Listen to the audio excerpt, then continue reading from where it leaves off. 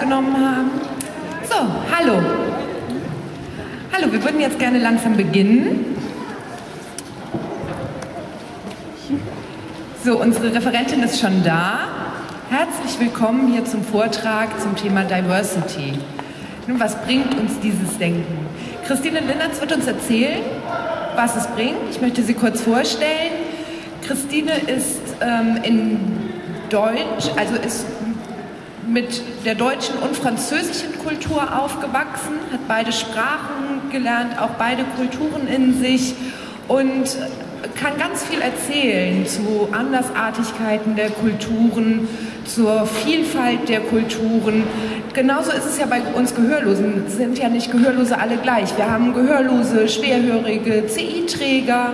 Also wir haben eine große Vielfalt einfach in unserer Kultur. Christine ist Diplom-Sozialarbeiterin. Genauso wie du, richtig? Ja, genau. Ich habe mich auch noch nicht ähm, vorgestellt. Ich bin Katja Fischer, wir haben den gleichen Beruf, Christine und ich. kann das nur versuchen, ob ich das wirklich schaffen werde, werden wir sehen. Ja. Vielen Dank, Katja. Vielen Dank. Viel Erfolg. Hallo, herzlich willkommen zu meinem Vortrag. Ich muss Katja ähm, ein bisschen berichtigen. Es geht nicht um die deutsch- und französische Sprache, sondern es geht um die Kulturen. Es gibt ja ähm, die Grenze Deutschland-Luxemburg zu Frankreich und äh, dort bin ich aufgewachsen und meine Eltern haben auch Französisch gesprochen. Und ähm, ich möchte kurz erklären, warum ich äh, gerade zum Thema Diversity äh, meinen Vortrag äh, halten möchte, denn ich bin bilingual in Sprachen aufgewachsen und auch bilingual in Kulturen, denn ich kann in der hörenden und in der gehörlosen Welt, äh, finde ich mich zurecht und habe sehr viele Erfahrungen dort gemacht und möchte genau deswegen auch zum Thema Diversity meinen Vortrag ähm, halten. Jetzt bitte die nächste Seite. Die nächste Seite bitte.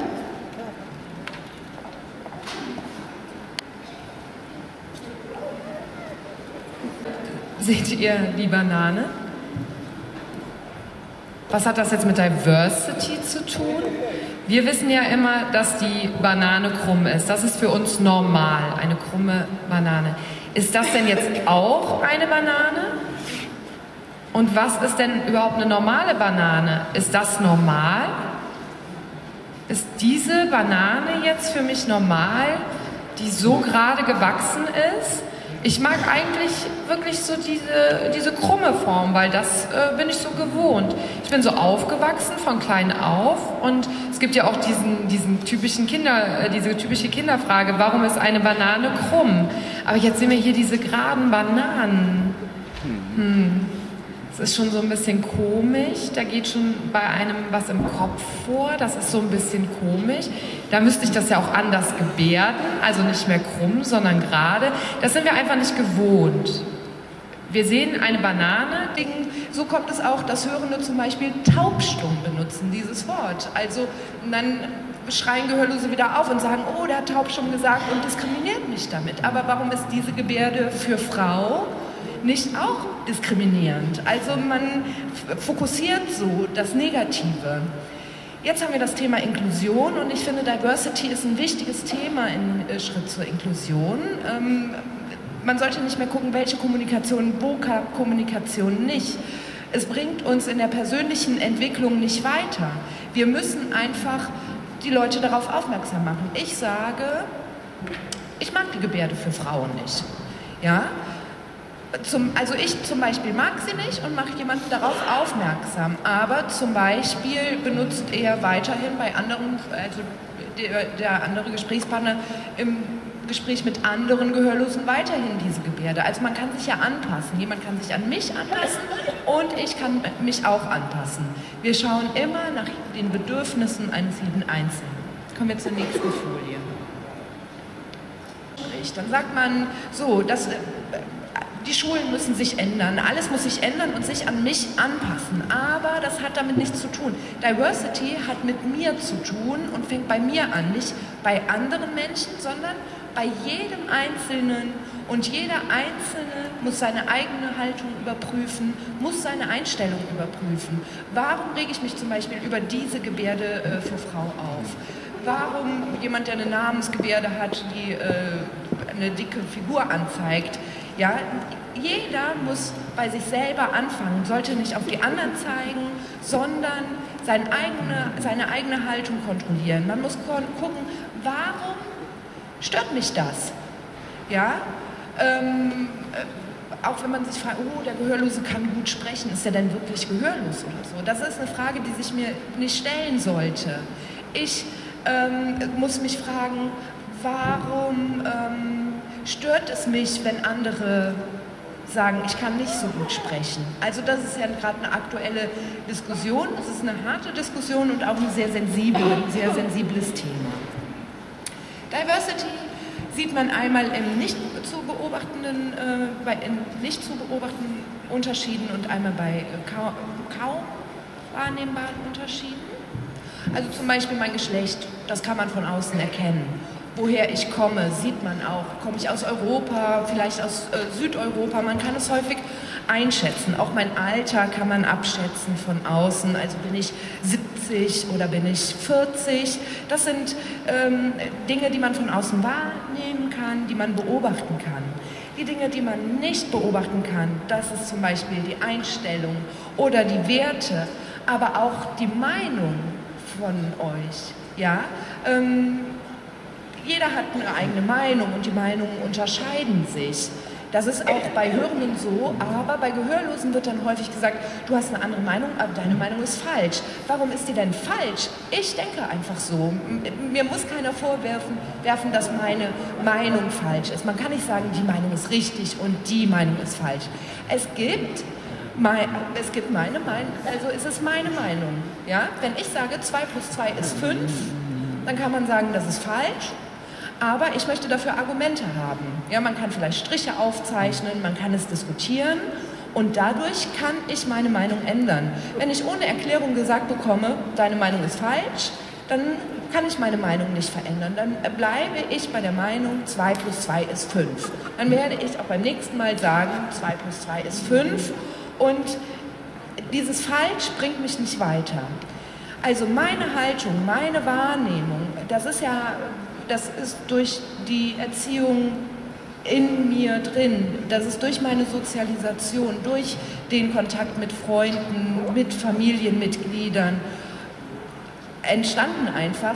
Und ich habe meine Meinung, die kann erstmal nicht falsch sein. Und wenn jemand anderer Meinung ist, dann muss man darüber sprechen, aber andere Meinungen muss man erstmal annehmen.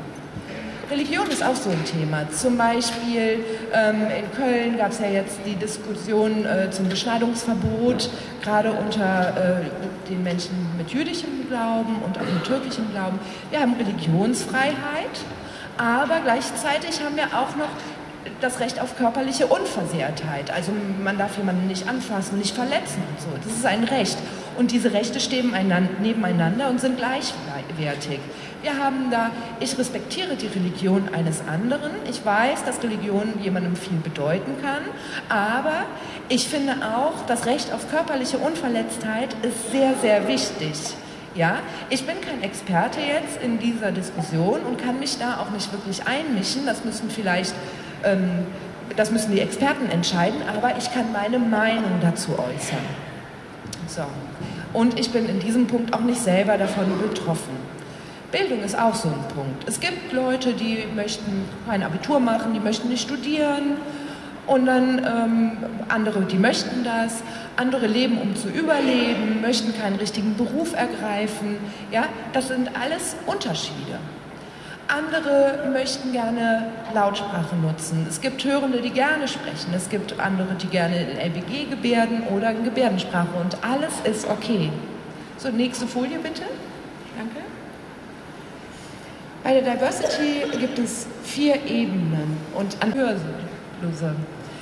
Ich muss dann nochmal auch wieder überlegen, warum hat er mich das jetzt gefragt? Warum wundert er sich jetzt? Warum darf ein Gehörloser für ihn nicht sagen, Musik finde ich super? Ja, vielleicht passt es in seine Vorstellung nicht, dass Gehörlose Musik gerne mögen. Also das sind so kleine Beispiele.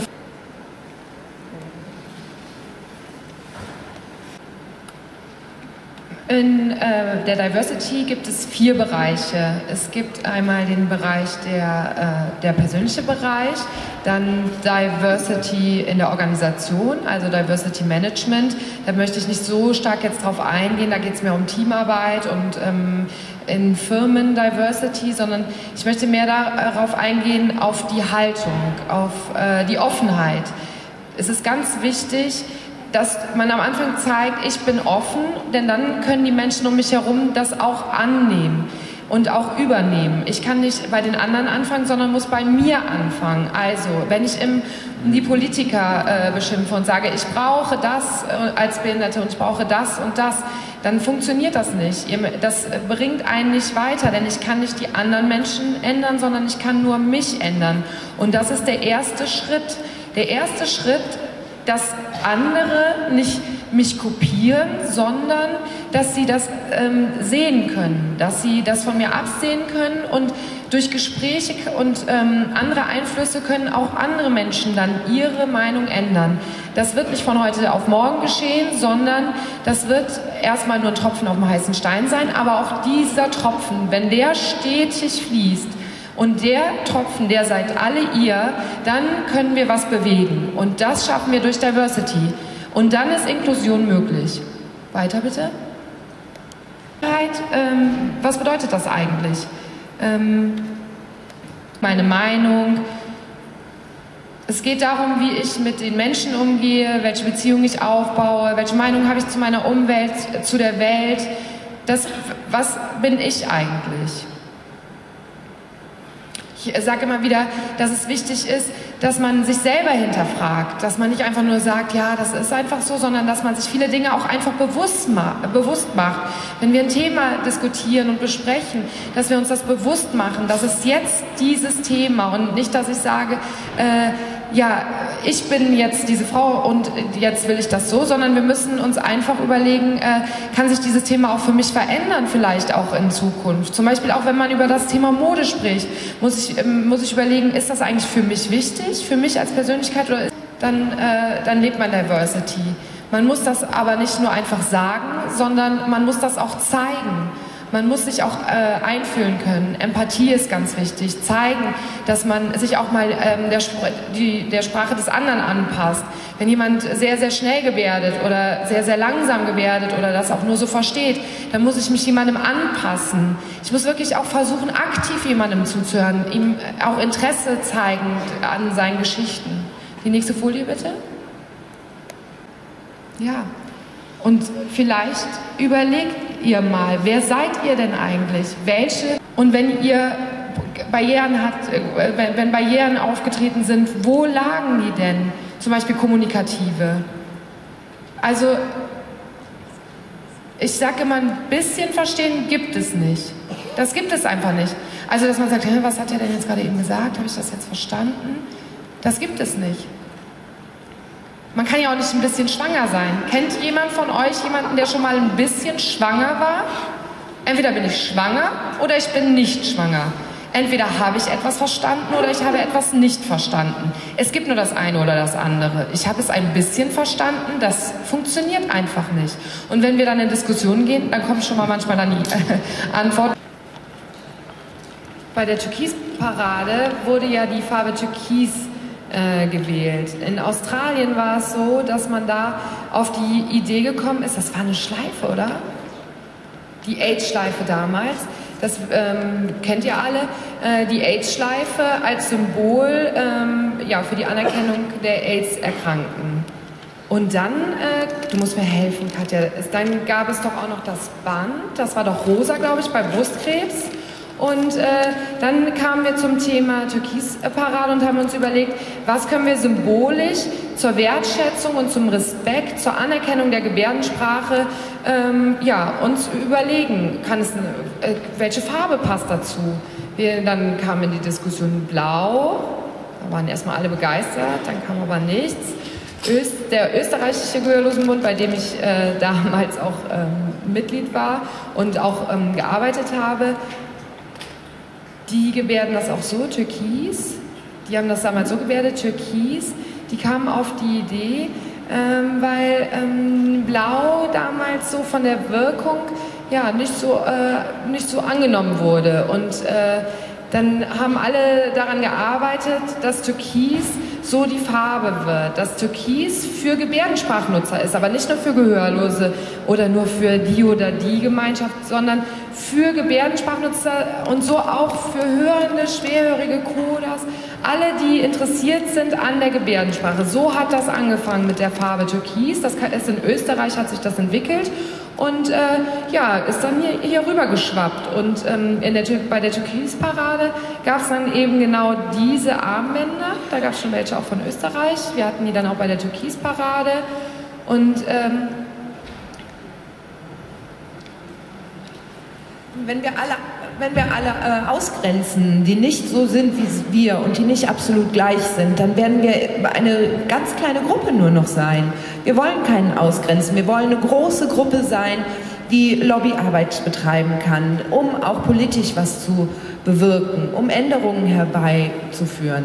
Wir haben schon lange das Diskriminierungsverbot und überall, Diversity ist überall in aller Munde und äh, durch das Antidiskriminierungsgesetz ist eine Riesenbewegung entstanden in anderen Bereichen, habe aber das Gefühl, dass es hier sehr langsam vorangeht. Ich glaube, das hat einfach ähm, auch mit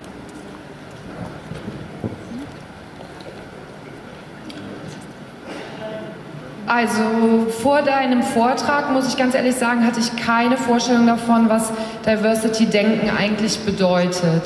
Ich habe mir deinen Vortrag jetzt angeschaut und ähm, ich habe vieles davon ähm, auch mitnehmen können. Wenn ich, ähm, für mich ist halt ganz, ein ganz wichtiger Begriff bei Diversity, äh, bei dem Diversity-Denken die Toleranz.